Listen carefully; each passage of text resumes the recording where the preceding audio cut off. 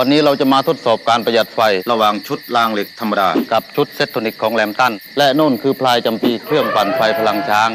เริ่มนะครับ ด้วยพลังงานไฟฟ้าพลังช้างจะเห็นได้ว่าทั้งคู่ไม่มีปัญหา ทีนี้ลองลดพลังงานไฟฟ้าลง